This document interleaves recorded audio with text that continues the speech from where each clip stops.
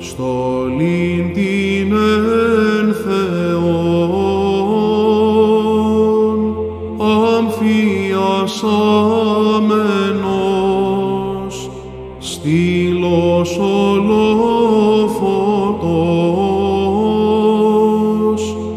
οφθής της πίστεως,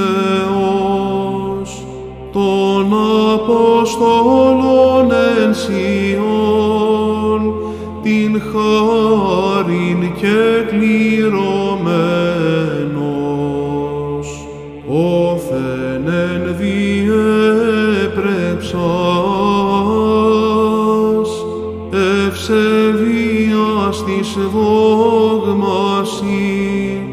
και πίστος εσκόρπισας της σοφίας το ταλάντων και νυν υπέρ ημών εκδισόπη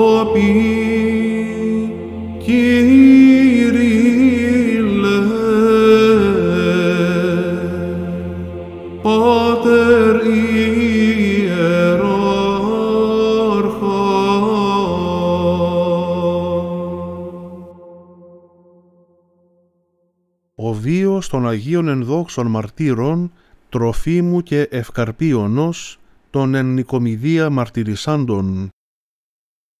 Οι δύο αυτοί γενναίοι μάρτυρες ανήκαν στην φρουρά του διοικητού της Βυθινίας τον καιρό του διωγμού του ειδωλολάτρη αυτοκράτορα Διοκλητιανού 303 έως 305 μετά Χριστόν.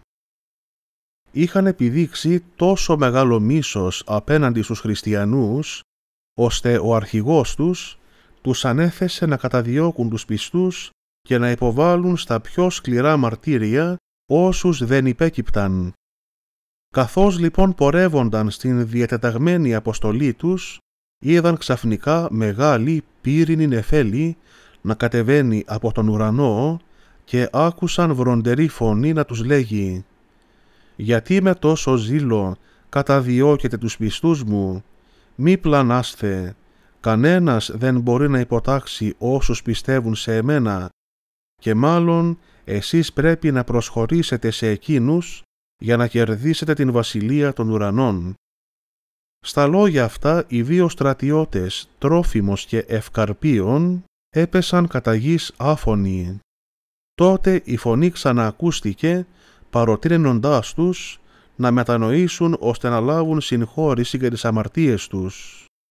Σηκώνοντας τα μάτια είδαν να κάθεται εν μέσω της νεφέλης ένας λευκοφόρος άνδρας, περιστοιχισμένος από όλους τους μάρτυρες που οι δύο στρατιώτες είχαν θανατώσει. Αφού ζήτησαν συγχώρηση από το Θεό, χύνοντας άφθονα δάκρυα, οι διώκτες έφθασαν μετανοημένοι ως άλλος Παύλος στην Νικομίδια.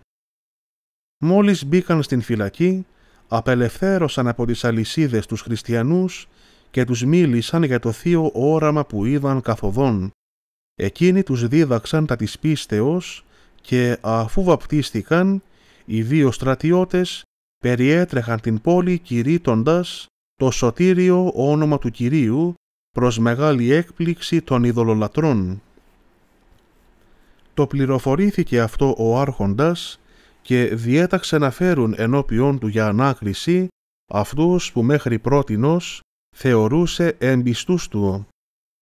Τους ρώτησε μήπως παραφρόνησαν ή έπεσαν θύματα τραγικού τεχνάσματος ώστε να αποστραφούν έτσι απότομα την λατρεία των ψευτοθεών. Οι γενναίοι όμως στρατιώτες του Χριστού ομολόγησαν ότι υπάρχει μόνο ένας σωτήρας και ότι για χάρη του ήσαν έτοιμοι να θανατωθούν. Τους τέντωσαν τότε στον τροχό και καταξέσχισαν τα πλευρά τους με σιδερένια άγκιστρα, ενώ εκείνοι προσεύχονταν στο Θεό να τους αξιώσει για ακόμη πιο σκληρά μαρτύρια, ώστε να λάβουν άφεση για όλα τους τα αμαρτήματα εναντίον των χριστιανών. Έξαλλος τότε από οργή ο άρχοντας διέταξε να αναφθεί κάμινος στο κέντρο της πόλεως.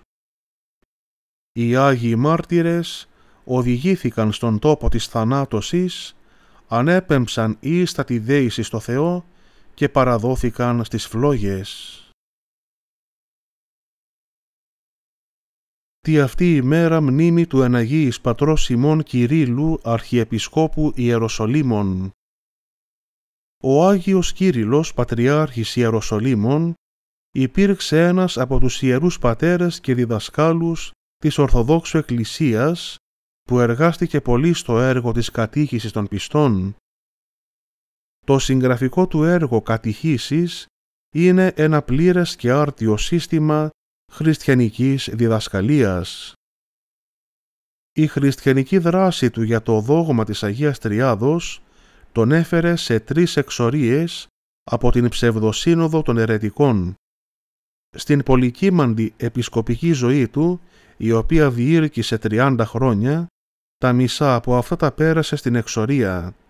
Στα χρόνια του οι Εβραίοι, ενδυναμούμενοι από τον Ιουλιανό τον Παραβάτη, θέλησαν να χτίσουν το ναό του Σολομόντος.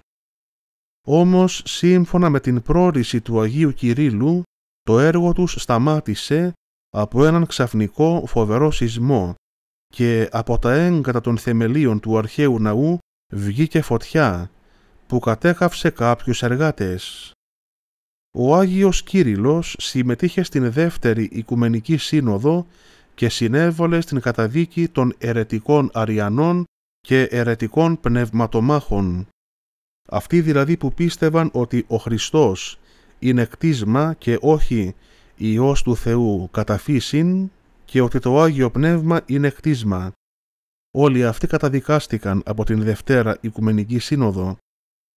Μετά από όλους αυτούς τους αγώνες ο Άγιος Κύριλλος, αφού μπόρεσε να απολαύσει για λίγο την ειρήνη που είχε αποκαταστήσει με τόσους σκόπους, κοιμήθηκε ειρηνικά το έτος 386, αφήνοντας το υπέροχο σύγγραμμά του κατηχήσεις για να διδάσκονται οι χριστιανοί όλων των αιώνων.